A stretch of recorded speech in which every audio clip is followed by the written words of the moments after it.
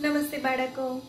આજે સામાન્ય જ્ઞાનમાં પાઠ ચાર, સારી ટેવો અને ખરાબ ટેવો. તો બાળકો, સારી ટેવો કોને કહેવાય અને ખરાબ ટેવો કોને કહેવાય? એ તમને મમ્મી પપ્પાએ તો શીખવાડ્યું જ હશે.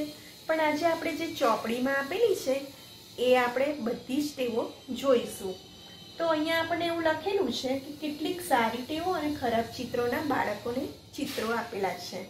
તો એ ચિત્રમાં સારી ટેવ હોય તો તમારે ખરું કરવાનું છે અને ખોટી ટેવ હોય તો એમાં તમારે ખોટું કરવાનું છે.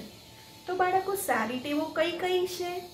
તો સારી ટેવો છે, આપણે સવારે ઉઠીને સૌથી પહેલાં શું કરવાનું?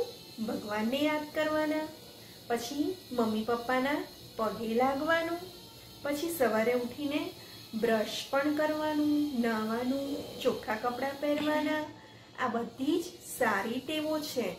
સારી ટેવોમાં રોજ સવારે નાસ્તો પણ કરવો જોઈએ, સમયસર ખાવું જોઈએ, સમયસર આપણે નાસ્તો કરીને સ્કૂલે જવું જોઈએ, સમયસર શાળાએ પહોંચવું જોઈએ અને ત્યારબાદ શાળાએથી આવીને આપણે હાથ પગ ધોઈને રોજનું આપણું હોમવર્ક પણ કરવું જોઈએ અને રાત્રે વહેલું ઊંઘી જઈને સવારે વહેલું ઉઠવું જોઈએ. એ બધી જ સારી ટેવો છે. તો બાળકો, અહીંયા તમને દેખાય છે, આ બંને બાળકો મમ્મી પપ્પાના પગે લાગે છે. તો આ કેવી ટેવ છે? સારી ટેવ છે. આ બાળકો રસ્તામાં રમે છે બોલ. તો એ સારી ટેવ છે બાળકો? ના. એ ટેવ સારી ના કહેવાય. આપણે ક્યાં રમવું જોઈએ? ઘરમાં, ગાર્ડનમાં કે પછી જે ગાર્ડનમાં જ્યાં આપણે કે રોડ ઉપર, એટલે કે સોસાયટીમાં કદાચ તમે રમો, જ્યાં વાહનોની અવર જવર ના હોય, ત્યાં રમવું જોઈએ. પછી આ શું કરે છે? બ્રશ કરે છે. તો એ કેવી ટેવ છે? સારી ટેવ છે. સવારે ઉઠીને ભગવાનને પ્રાર્થના કરવાની છે. તો એ કેવી ટેવ કહેવાય? ખૂબ જ સારી ટેવ કહેવાય. આ જે ક્લાસમાં બાળક બેઠું છે, એ બેન્ચીસની ઉપર બેઠું છે. એ સારી ટેવ છે? ના. આપણે ક્યાં બેસવું જોઈએ? બેન્ચીસમાં નીચે બેસવું જોઈએ. એ જ પ્રમાણે આ બાળકો હોમવર્ક કરી રહ્યા છે. તો આ હોમવર્ક કરે છે એ પણ સારી ટેવ છે. પછી આ બાળક શું કરે છે? મોઢામાં આંગળી નાખે છે. તો એ સારી ટેવ છે? ના.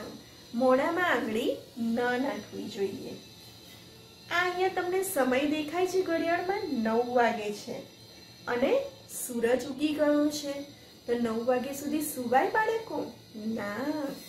સવારે વહેલું ઉઠવું જોઈએ. એ જ પ્રમાણે આ સ્કૂલ બસ છે. તો સ્કૂલ બસમાં જે બાળક બેઠું છે, એ બારીની બહાર જુએ છે.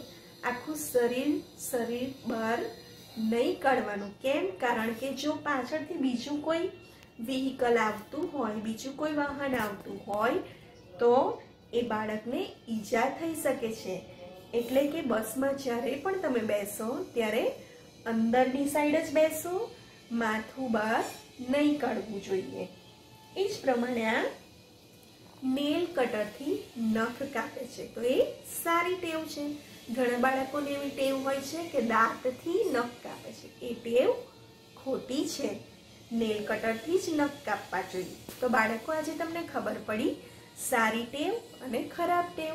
તો આ ટેવો જોઈને તમારે પણ સારી ટેવોનું અનુકરણ કરવાનું છે. Thank you